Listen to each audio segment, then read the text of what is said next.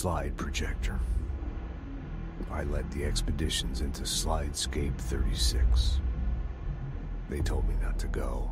The director should not put himself in danger. I told them to fuck off. I've seen action before, and I had to witness this myself. To find some meaning in all of this, I couldn't sit on my ass, alone with my thoughts, my memories. Anything but that. Those who survived were deeply affected by what we found there, by what Darling brought back. It changed everything. Whether that's a good thing or a bad thing remains to be seen. But I did find my meaning in that desert. A sound, like a needle drilling in, cutting through the containment suit, reverberating on the base of my skull. My whole being. Darling said it was nothing. But he was wrong. It's been there ever since, growing into a certainty, into an understanding of what's at stake here, what kind of a threat we're facing, and what must be done to stop it.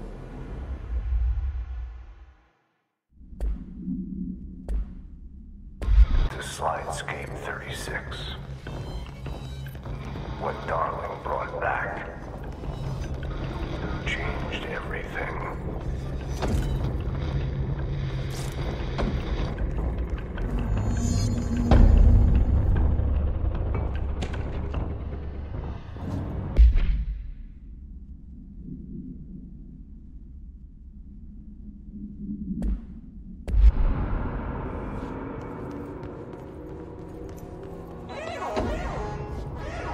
Yeah, you want me here. Finding the projector was how this all began. What started in ordinary ends here. You, me, Dylan. We've all come full circle.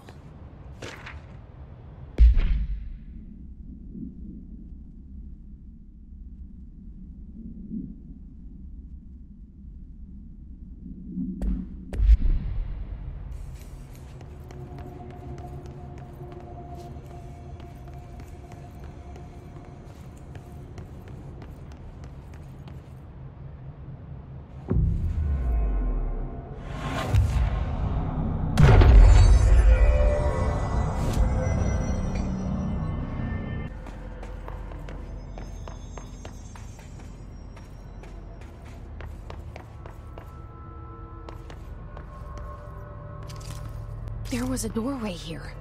To where Dylan and I went, where the projector took us, where we met you. The Bureau opened the same door here, but there's just an echo now. Are you close? Just on the other side?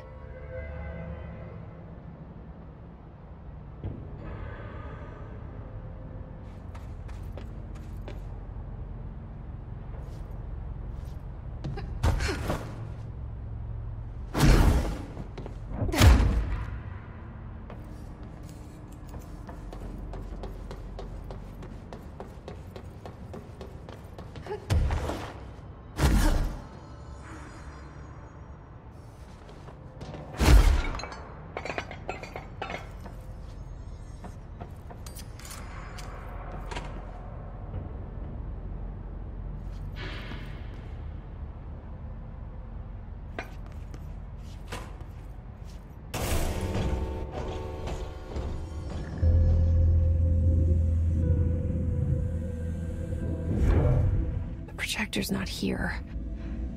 Moved again. What did Darling do with it? I've got to find out.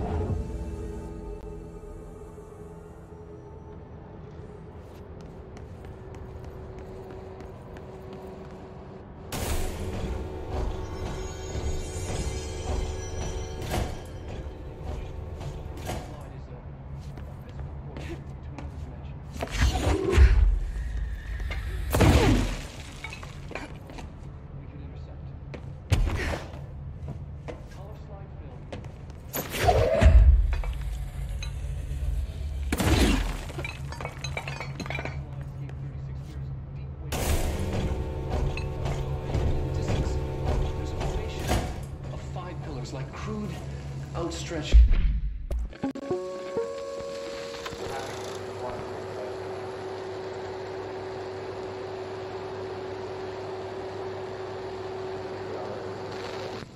The projected image from each slide is a, a physical portal into another dimension.